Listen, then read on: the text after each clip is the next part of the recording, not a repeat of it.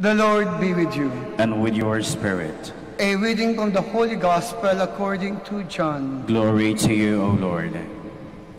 Jesus said to the Jews, If I testify on my own behalf, my testimony is not true. But there is another who testifies on my behalf, and I know that the testimony he gives on my behalf is true. You sent emissaries to John, and he testified to the truth. And I do not accept human testimony, but I say this so that you may be saved. He was a burning and shining lamp, and for a while you were content to rejoice in his light. But I have testimony greater than John's, the works that the Father gave me to accomplish. These works that I perform testify on my behalf that the Father has sent me. Moreover, the Father who sent me has testified on my behalf, but you have never heard his voice nor seen his form, and you don't have his word remaining in you, because you don't believe in the one whom he has sent. You search the scriptures because you think you have eternal life through them.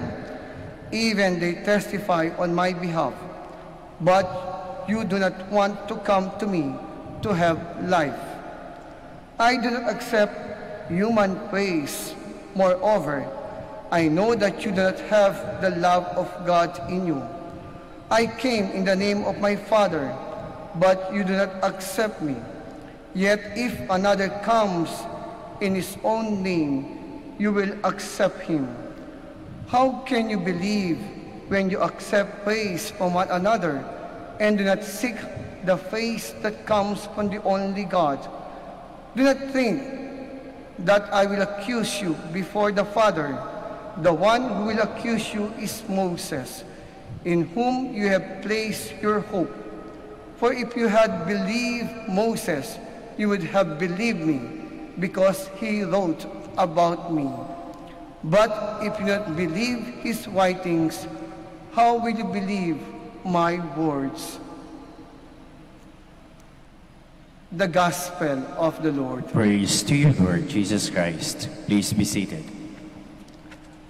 Kapayapaan po at pawang kabutihan sa inyo lahat mga kapatid, mga katulad ko ng mga pilgrims, mga deboto ng ating mahal na ina ng Birhen ng Manawag. Welcome po sa ating lahat dito sa Minor Basilica of the Our Lady of the Rosary of Manawag.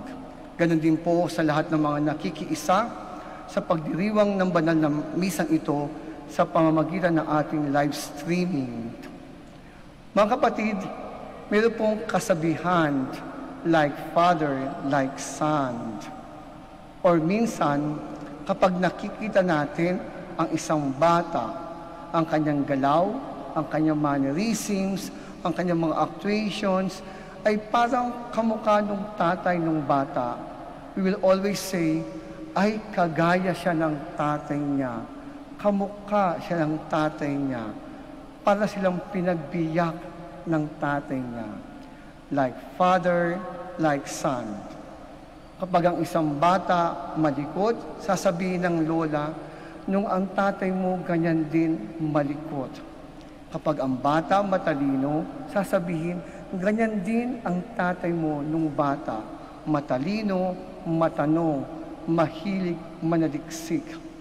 Like father, like son. Sa Ebanghelyo ngayon, mga kapatid, matingkad na sinasabi ni Jesus at muli ipinapaunawa sa ating lahat. Ang kanyang mga salita ay hindi salita na galing sa kanya, bagkus mga salita ng Ama. The words of Jesus are not simply His own words, but rather they are the words of the Father. Jesus speaks forgiveness because they are the words of the Father. Jesus speaks about mercy because the Father speaks of mercy. Jesus speaks about forgiveness, reconciliation, because the Father speaks and teaches. about forgiveness and reconciliation. Ang sabi sa Ebanghelyo, ang aking mga gawa ay gawa ng aking Ama at nagpapatunay na kung saan at sino ako. The works, the actions, the miracles, the actuations of Jesus are not His. They are actions. They are miracles. They are the fulfillment of the will of the Father. Jesus simply obeyed His Father. Jesus simply followed His Father.